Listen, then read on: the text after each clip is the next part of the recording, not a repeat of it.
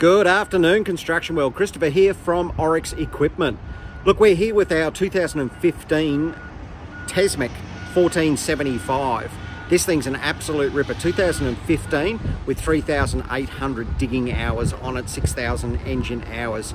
Caterpillar C18, this thing is tidy. We've just got it into stock, uh, set up to dig just a little bit over one meter wide and uh, it's in really good shape really good shape. We've got to do uh, we're going to go right over the whole machine from front to rear. So we'll get it be into uh, full job ready condition as we always do.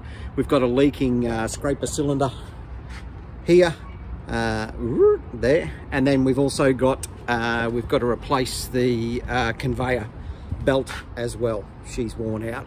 But while we're in there we'll also do the uh, conveyor bearings all of the return rollers uh, everything that we need to do in there. Any skirting rubber that we need to do we'll do all of that. It's going to get a full clean um, like from top to bottom inside out back to front. Um, I've actually this is the first trenching machine I've ever come across that has I haven't been able to find any leaks on this machine anywhere.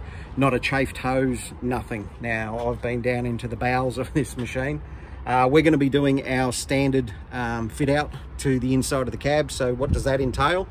That entails we strip the, the, the whole interior of the cab. For some reason, when they build these machines, they use some shithouse um, glue, uh, interior kind of vinyl and terrible foam. So what we'll do, we strip these out on the interior.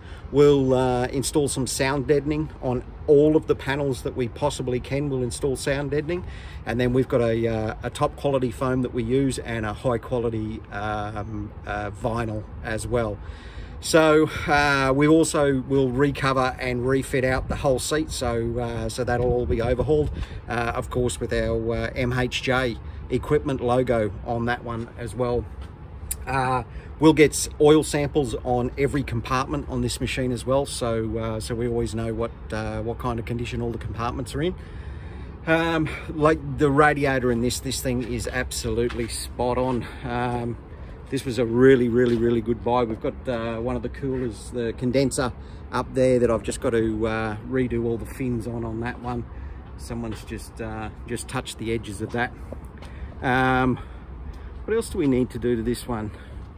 Uh, I think that's about it. Apart from the, the clean inside and out, of course, we've got to go through the hard face, the whole digging chain assembly as well. So um, they kind of love to run them without any hard facing on over here. So we'll go over, we'll retighten every uh, every bolt, every plate bolt on this.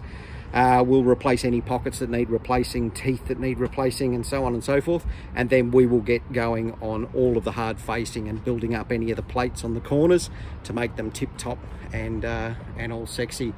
Um, all the rollers up there, I've checked all of those. They all look in, uh, in great shape. And, uh, and these bushes, these are just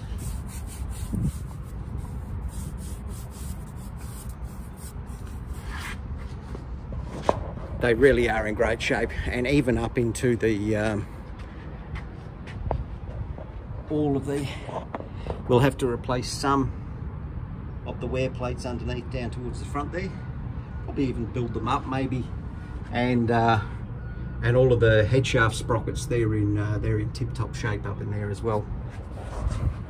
This thing is a credit to the last owner. It really really is. They've uh, they've really looked after uh, this one we bought two of them in a package so uh, the other one's a 2011 and uh, and the, the chain's just worn out on that one so we'll put a new set of digging chains on it new set of uh, digging plates as well so yeah 2015 uh, Tesmec 1475 if you're in the market let us know. We'd be loved uh, we'd love to help you out.